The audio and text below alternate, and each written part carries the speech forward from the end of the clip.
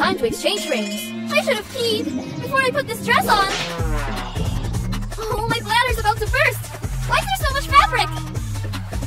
I'm running out of time. What about that bag? I'm about to change wedding dresses forever. Let's get peeing, folks. Cut the oversized bag here. That's it.